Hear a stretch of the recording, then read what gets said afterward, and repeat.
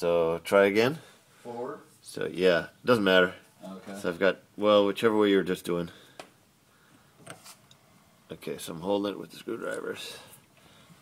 And put your- And now you're turning that. It's turning the other side. Now I'm gonna hold the other side of my leg. Try again. Alright. Alright.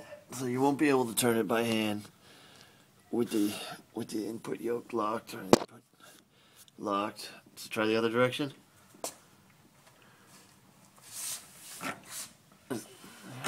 That's the screwdriver's adjusting. Okay, now try. Same thing. Can't turn it because I have I have my leg against the other tire. So we can't we can't engage the plates by hand if we hold the input. Driveshaft does disconnect thing in here. Hold it with screwdrivers.